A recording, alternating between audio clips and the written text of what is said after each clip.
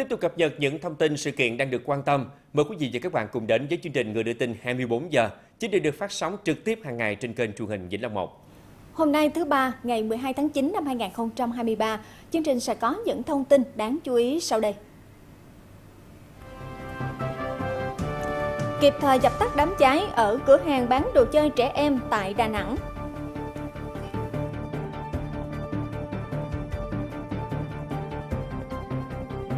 Cảnh giác với các dịch vụ hỗ trợ rút bảo hiểm xã hội một lần trên mạng.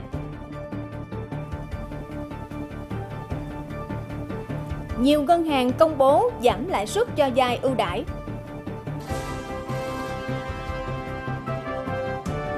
Nông dân Đồng Tháp nâng tầm giá trị trái xoài đặc sản.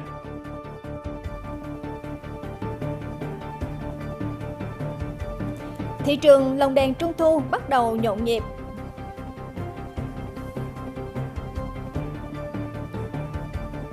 Bắt giữ đối tượng mua bán trái phép sừng tê giác và mật gấu. Mời quý vị bắt đầu theo dõi chương trình.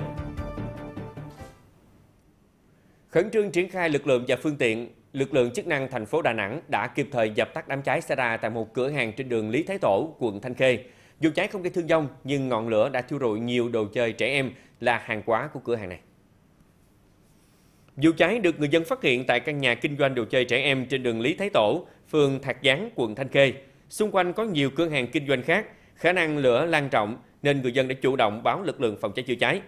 Nhận được thông tin, lực lượng chức năng đã điều động 4 xe chữa cháy cùng nhiều cán bộ chiến sĩ đến hiện trường khẩn trương dập lửa. Ghi nhận tại hiện trường, ngọn lửa bùng phát ở tầng 2 là kho chứa nhiều đồ chơi trẻ em. Đám cháy nhanh chóng lan rộng, bao trùm toàn bộ tầng 2 và lan xuống tầng 1 của ngôi nhà. Hơn 40 phút, đám cháy được dập tắt. Đám cháy không gây thiệt hại về người, lực lượng chức năng đang khám nghiệm hiện trường, điều tiết, đánh giá thiệt hại và làm rõ nguyên nhân vụ cháy.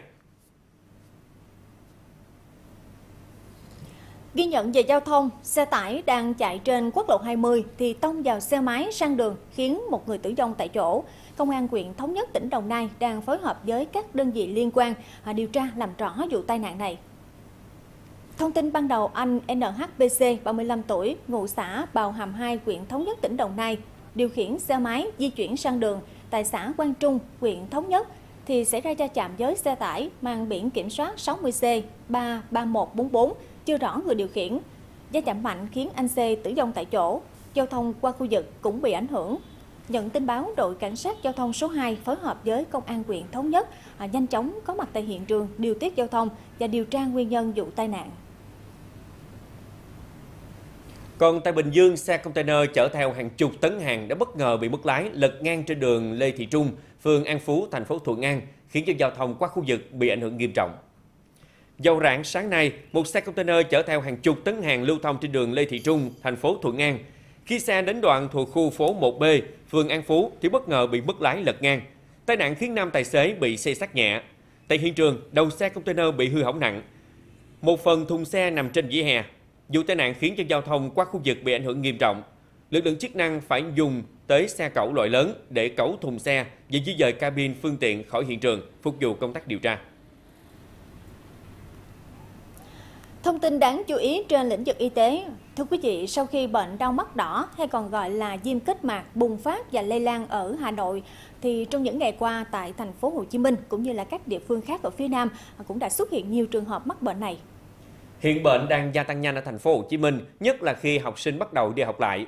Khác với mọi năm, thay vì là adenovirus, thì thủ phạm chính gây bệnh đau mắt đỏ năm nay được ngành y tế xác định là enterovirus. Theo báo cáo nhanh của các bệnh viện, trong 8 tháng qua, thành phố Hồ Chí Minh đã ghi nhận hơn 71.000 trường hợp viêm kết mạc đến thăm khám và điều trị. Khoảng 1 phần 3 số ca là trẻ em trong tuổi đi học.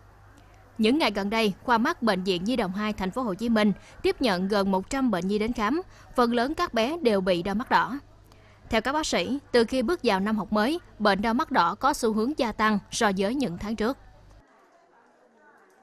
So với mấy tháng trước thì một tháng mình à, tiếp nhận khoảng à, bốn năm chục thì à, từ lúc mà nhập học đến giờ thì à, bắt đầu có dấu hiệu tăng nhẹ lên một ngày tiếp nhận khoảng bảy tám chục ca ừ thường cái đau mắt đỏ thì à, nó là lây qua cái đường tiếp xúc khi một em bé bị trong trường học thì nó sẽ có khả năng lây cho mấy bé khác rồi sau đó về à, những bé bệnh thì về gia đình thì lại lây cho những người xung quanh trong gia đình Trong khi đó, bệnh viện mắt thành phố Hồ Chí Minh, số bệnh nhân đến thăm khám đau mắt đỏ cũng gia tăng ở mọi lứa tuổi, từ trẻ sơ sinh đến người lớn tuổi.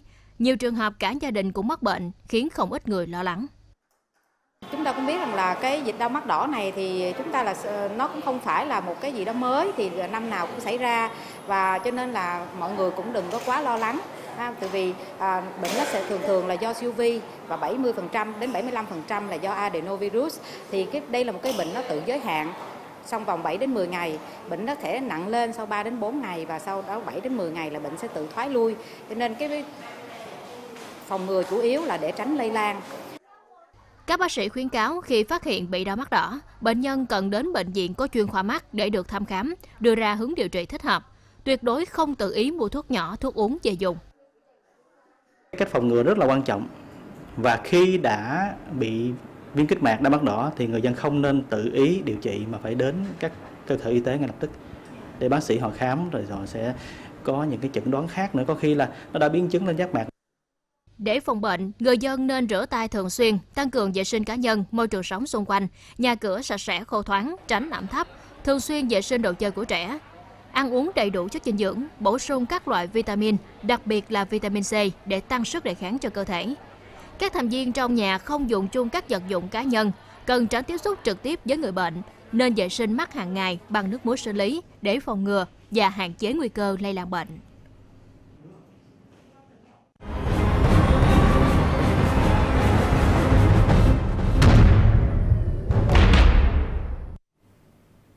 Thưa quý vị và các bạn, nắm bắt tâm lý người lao động sau khi nghỉ việc thường có kinh tế khó khăn, muốn nhanh chóng rút bảo hiểm xã hội một lần để mà trang trải cuộc sống. Thời gian gần đây xuất hiện một số website giả mạo lừa cung cấp dịch vụ hỗ trợ này để mà chiếm đoạt tài sản và thực tế là đã có không ít nạn nhân đã bị lừa đảo. Dân và điều đáng nói là người bị lừa hầu hết đó là những người lao động phổ thông, à, hoàn cảnh kinh tế eo hẹp nên cuộc sống càng thêm khó khăn. Vậy thì cụ thể thủ đoạn của các đối tượng này ra sao và cần làm gì để phòng tránh? Mời quý vị cùng theo dõi lời cảnh báo ngay sau đây để tìm câu trả lời.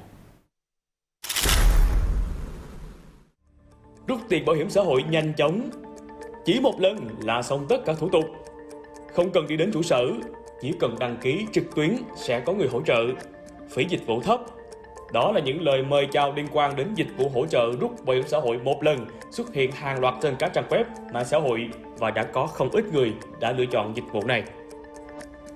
Vì công việc bận rộn, không có nhiều thời gian để tham khảo cũng như tìm hiểu về các quy trình rút bảo hiểm xã hội một lần, chị HTN đã tìm đến các fanpage về hỗ trợ rút bảo hiểm xã hội một lần. Cứ tưởng tìm được người giúp, ai ngờ chị lại sập bẫy kẻ gian. Tôi không có thời gian để ra ngoài cơ quan bảo hiểm xã hội rút, nên là tôi đã lên fanpage Facebook để tìm hiểu về à, quy trình rút bảo hiểm xã hội một lần. Sau khi mà được nhân viên tư vấn thì à, nhân viên nói là giúp, sẽ giúp tôi à, giải quyết thủ tục giải ngân trong 2 ngày và tôi phải đóng tiền làm hồ sơ dịch vụ cho họ là 2 triệu nhưng mà sau khi mà đóng xong rồi á thì tôi không nhận lại được bất kỳ khoản trợ cấp nào Tương tự, chị NBT cũng liên hệ các trang web và rút hỗ trợ rút bảo hiểm xã hội một lần vì muốn thủ tục được xử lý nhanh chóng và chị cũng trở thành nạn nhân của các đối tượng lừa đảo. Cái lúc mà đi lên trên mạng tìm á, mình gõ cái bảo hiểm một lần ra là có rất nhiều trang bảo hiểm xã hội hỗ trợ mình ví dụ như là có một bạn nhân viên ấy bạn ấy nhắn qua bên zalo xong bắt đầu là kêu mình ờ, gửi thông tin cá nhân xong gửi cái ờ, căn cước công dân các thông tin về sổ bảo hiểm các thứ cho cho bạn đó và sau đó là bạn ấy kêu mình là chuyển một triệu. Sau khi mà nhận được tiền, thì khoảng một ngày sau lận là thì thấy mình nhắn tin lại thì không thấy bạn này trả lời. Cuối cùng là không thấy bạn trả lời. Lúc sau thì vào xem thông tin liên hệ thì đã xóa hết rồi.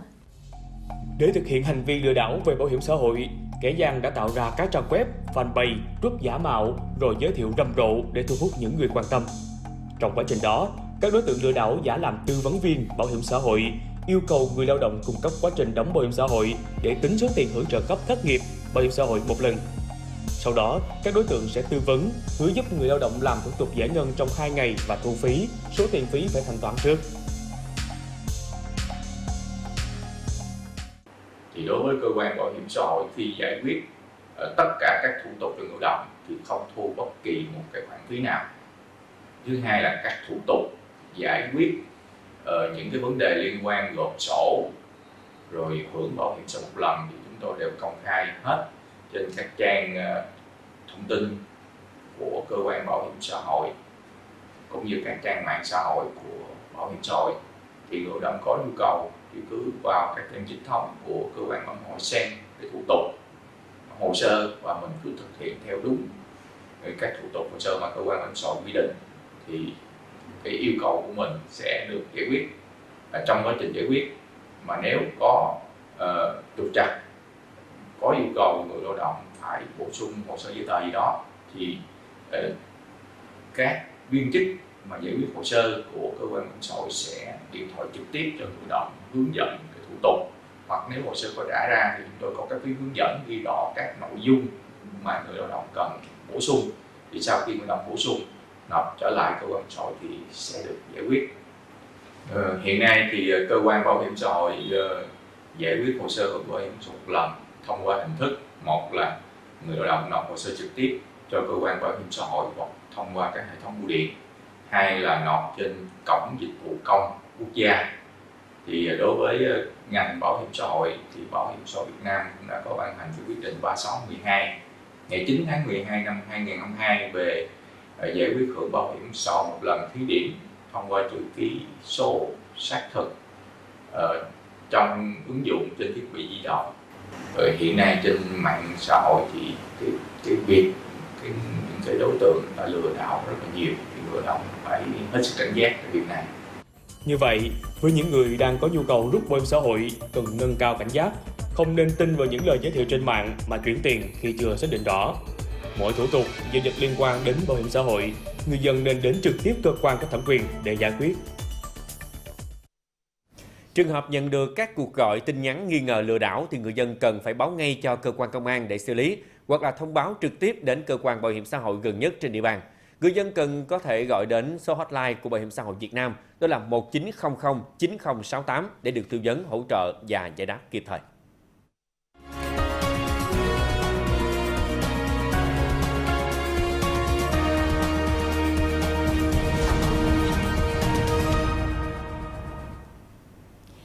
Vị đang theo dõi chương trình Người đưa tin 24 giờ của Đài truyền hình Vĩnh Long. Sau đây là những thông tin đáng chú ý sẽ có trong phần tiếp theo. Nhiều ngân hàng công bố giảm lãi suất cho vay ưu đãi. Nông dân Đồng Tháp nâng tầm giá trị trái xoài đặc sản.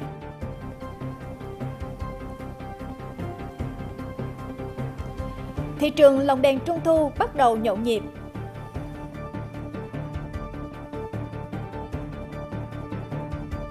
Bắt giữ đối tượng mua bán trái phép sừng tê giác và mật gấu. Mời quý vị tiếp tục theo dõi chương trình. Chưa đầy 2 tuần kể từ khi quy định cho vay trả nợ ngân hàng khác tại thông tư 06 của Ngân hàng Nhà nước có hiệu lực, thì nhiều ngân hàng tiếp tục thông tin về các mức lãi suất ưu đãi phục vụ khách hàng trả nợ trước hạn tại ngân hàng khác. Dẫn đầu làn sóng cho vay trả nợ tại tổ chức tín dụng khác là các ngân hàng thương mại có vốn nhà nước. Vietcombank có gói tín dụng với lãi suất từ 6,9% một năm trong 6 tháng đầu hoặc 7,5% một năm trong 12 tháng đầu hoặc 8% một năm trong 24 tháng đầu. BIDV áp dụng lãi suất dai từ 6,8% một năm. Khách hàng có thể dai vốn với thời gian lên đến 30 năm, có thể dùng chính tài sản đảm bảo đang thế chấp tại tổ chức tín dụng khác hoặc tiền gửi bất động sản của khách hàng, người thân. Vietinbank hỗ trợ khách hàng có nhu cầu vay vốn trả nợ trước hạn tại các ngân hàng khác với lãi suất từ 5,6% một năm với mục đích sản xuất kinh doanh và 7,5% một năm với mục đích vay tiêu dùng. Không chỉ khối ngân hàng thương mại có vốn nhà nước, nhóm các ngân hàng thương mại cổ phần cũng triển khai chương trình này với lãi suất khá hấp dẫn, khoảng từ 7,7% đến 8% một năm trong năm đầu. Thưa quý vị, xoài là một trong những ngành hàng chủ lực của tỉnh Đồng Tháp, à, tuy nhiên cũng không tránh khỏi tình cảnh được mùa mất giá trong những năm qua. Vì vậy mà để nâng cao giá trị cho đặc sản của địa phương thì nhiều nông dân đã có những sáng tạo ở khâu chế biến để tạo ra nhiều sản phẩm mới và một trong số đó có sản phẩm xoài cát chu sánh dẻo của ông Trần Quang Thâu, ngụ xã Tân Thuận Tây, thành phố Cao Lãnh, tỉnh Đồng Tháp. Ông Trần Quang Thâu có diện tích hơn 0,5 hecta trồng xoài cát chu Cao Lãnh và xoài Đài Loan. Khoảng năm 2019, khi vụ xoài chính vụ bước vào mùa thu hoạch rộ, giá xoài trên thị trường bắt đầu xuống thấp. Có thời điểm thương lái thu mua xoài nguyên liệu tại vườn chỉ 5-6 ngàn đồng một kg. Thời điểm đó, ông Thâu suy nghĩ phải tìm giải pháp để chế biến xoài, vì chỉ có như thế mới có thể nâng cao giá trị cho trái xoài. Để tạo sự khác biệt với các sản phẩm trước đây, ông Thâu chọn chế biến trái xoài cát chu với phương pháp sấy nhiệt. Sau nhiều tháng nghiên cứu và có hàng chục mẻ xoài sấy bị hỏng, ông Thâu mới cho ra được thành phẩm. Sản phẩm có độ mềm, dẻo, tự nhiên. Đặc biệt, nhờ sấy theo phương thức truyền thống, nên miếng xoài thành phẩm giữ được hương vị thơm ngon, đậm đà, đặc trưng của xoài các chu cao lãnh. Hiện mỗi tháng, cơ sở của ông Thâu sấy 1,5 tấn xoài tươi. Nguyên liệu được thu mua từ các hợp tác xã tại địa phương. Rửa xong rồi đem ra để ráo, ráo rồi mới đưa vô ủ. Ủ bằng phương pháp là tạo khí ethylene từ cái máy sử dụng cồn trên 90 độ. Khoảng thời gian khoảng chừng 3 ngày thì xoài nó sẽ chín. Chín rồi là lấy ra là bắt đưa qua cái phòng cắt gọt. Thì lúc này là cắt gọt bằng tay hết, không có gì sử dụng máy. Cắt gọt bằng tay rồi cắt lát cũng bằng tay để vô khay. Xong rồi là đưa vô máy sấy. Thì máy sấy thì mình để nhiệt độ và cái thời gian cho nó nó phù hợp. Rồi khi mà đã đạt được chuẩn rồi đó lấy ra rồi là cho vô bao bì. Việc chế biến giúp ông Thâu khai thác được nguồn nguyên liệu của địa phương, từ đó nâng cao giá trị sản phẩm. Năm 2022, sản phẩm xoài cát chu sấy dẻo của ông Thâu là một trong 10 sản phẩm được bình chọn đạt ô cấp 3 và 4 sao cấp tỉnh. Các sản phẩm chủ yếu được giao cho các nhà phân phối và được bán lẻ trên địa bàn tỉnh.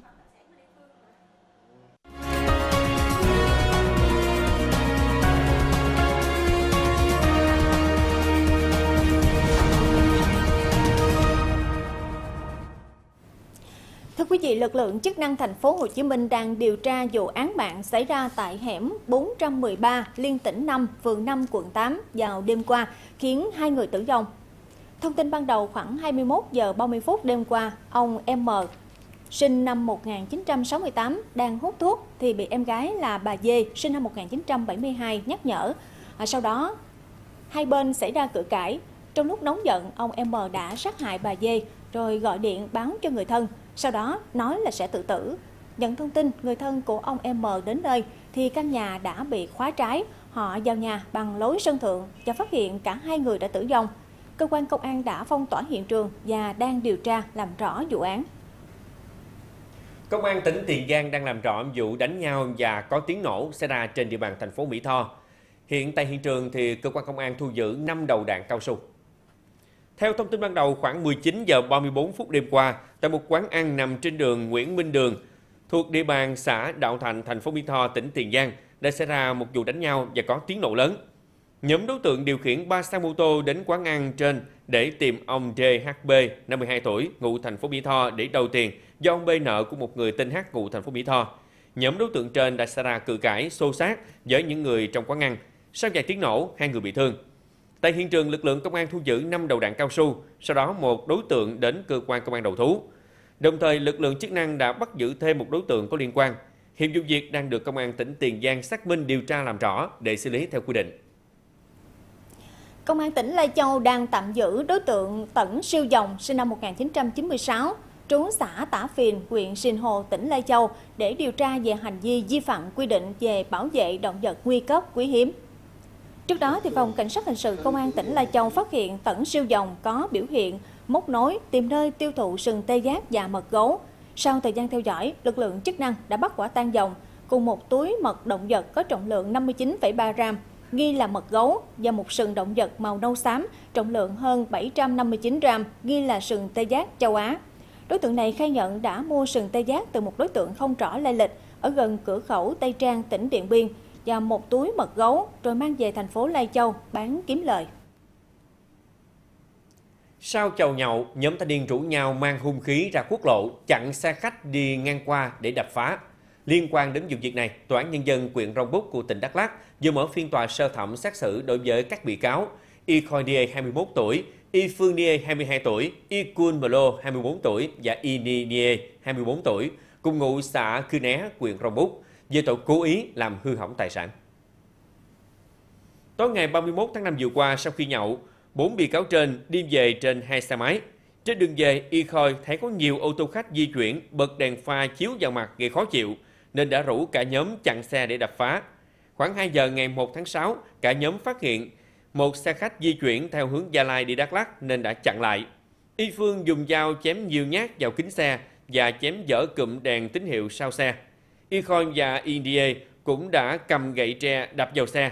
Ikun dùng tay đấm vào kính chắn gió trước, bẻ gãy cần gạt nước. Trước sự việc tài xế xe khách đã dùng bình xịt cứu quả xịt ra ngoài nên các đối tượng bỏ chạy. Chiều cùng ngày, các đối tượng lần lượt đến cơ quan công an đầu thú. Kết thúc phiên tòa, hội đồng xét xử tuyên phạt Y Phương Nie, Y Khoi Nie, mỗi bị cáo 3 năm tù, Y Ni Nie 2 năm 6 tháng tù và Y Kun Melo 2 năm tù. Bên cạnh đó, thì các bị cáo buộc phải bồi thường trên 70 triệu đồng cho chủ xe khách. Chỉ còn hơn 2 tuần nữa là đến Tết Trung thu và thời điểm này thì tuyến đường Hải Thượng Lãng Ông ở quận 5 thành phố Hồ Chí Minh đã được các hộ kinh doanh trang hoàng rực rỡ, thu hút nhiều người dân và du khách đến tham quan mua sắm. Và sau đây là ghi nhận của người đưa tin 24 giờ. Mùa trung thu hàng năm, người dân thành phố Hồ Chí Minh thường đổ về quận 5 để tìm mua lồng đèn và vật phẩm trang trí. Các hộ kinh doanh đã bày bán nhiều sản phẩm phục vụ dịp Tết Trung thu với mẫu mã đa dạng, phong phú. Năm nay, lồng đèn có giá phổ biến từ 20.000 đến 60.000 đồng một sản phẩm, nhưng cũng có loại giá lên đến vài trăm ngàn đồng. Đặc biệt, năm nay có nhiều mẫu mã mới như lồng đèn vỏ tre con thỏ, lồng đèn con sứa nhiều màu sắc, lồng đèn sử dụng pin thì cũng có nhiều mẫu mã hơn so với năm trước. Những ngày gần đây, thị trường lồng đèn sôi động hơn khi lượng mua của khách hàng tăng đáng kể. Nhiệt hơn nhiều tại vì năm nay ờ, làm như ờ, em bé chơi rất là nhiều hơn năm rồi. Nhiều em bé thích mấy lồng đèn đa dạng thì kia đi rất mua rất là nhiều. Mình là cảm thấy rằng tết trung thu năm nay có vẻ như là náo nhiệt hơn so với năm ngoái. Vì là uh, xu hướng của các bạn trẻ thường là sẽ tìm về những cái văn hóa những cái mà truyền thống của Việt Nam mình. Đông đảo người dân và du khách đã đổ về các tuyến đường bày bán nhiều loại lồng đèn phục vụ Tết Trung Thu để tham quan và mua sắm. Tết Trung Thu là một dịp đặc biệt với các em nhỏ cùng gia đình và cũng là cơ hội để đưa nét đẹp về văn hóa truyền thống đến với bạn bè quốc tế. Đến đây chúng tôi xin được kết thúc chương trình Người đưa tin 24 giờ trưa nay của Đài truyền hình Vĩnh Long. Cảm ơn quý vị và các bạn đã đồng hành cùng chương trình. Thân ái chào tạm biệt và hẹn gặp lại.